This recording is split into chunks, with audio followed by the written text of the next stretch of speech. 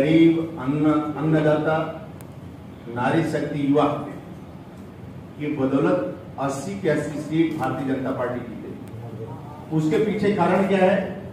चुनाव स्वयं आवास योजना प्राप्त करने वाले लाभार्थी चुनाव लड़ रहे जिनको शौचालय मिला, गैस का कनेक्शन मिला है, बिजली का कनेक्शन मिला है, आयुष्मान का कार्ड मिला है, इस समय आदरणीय मोदी जी के लिए स्वयं चुनाव लड़ रहे हैं। ये सभी मतदाता जो लाभ प्राप्त किए हैं या जिनको नहीं मिला है, तब भी और वहाँ पर चुनाव प्रभु राम श्री राम प्राण प्रतिष्ठा, राम मंदिर का हुआ है। स्वयं नारायण के आशीर्वाद से, जनता जनार्दन के आशीर्वाद से 80 की 80 सीटें भारतीय जनता पार्टी आदरणीय नरेंद्र मोदी के नेतृत्व में हम चुनाव जीत रहे हैं। दूसरा कारण है, आदरणीय योगी जी के नेतृत्व में जो शासन है जो इस समय सपा बसपा कांग्रेस में भ्रष्टाचार गुंडागर्दी और ये देखे थे कि पाँच बजे के बाद कोई बेटी बाहर नहीं निकल सकती। बिजली भी नहीं आती थी। इन्वर्टर लोग हर घर में लगे थे। आज इन्वर्टर गायब है। बिजली 23 घंटा 24 घंटा 18 घंटा मिल रहा है। इसलिए सभी जनता जनार्दन 80 80 सीट के लिए स्वयं चुनाव रही लड़ रही है और उत्तर प्रदेश में 80 की 80 सीटें भारतीय जनता पार्टी की झोली में जाएगा। आदरणीय मोदी जी के नेतृत्व में आदरणीय योगी जी। इसी कारण जो ईडी ईडी पार्टनर है, तीसरे चरण में हिंसा पर उतारू हो चुके हैं।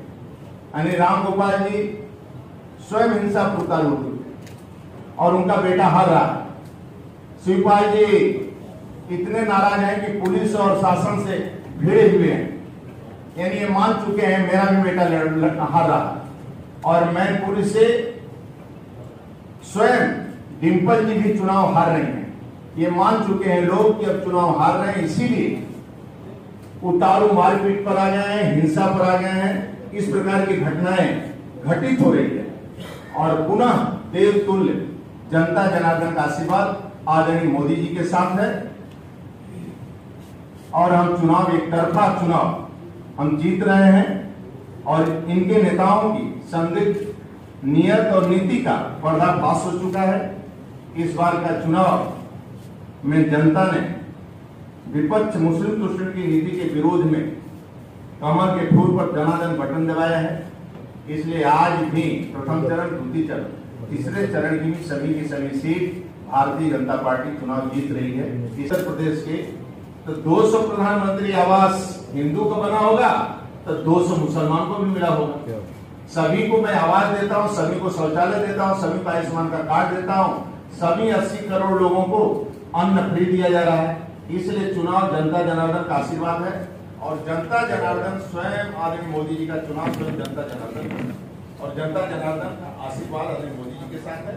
और कार्यकर्ताओं के परिश्रम की पराकाष्ठा के आधार पर मैं कर सकता हूँ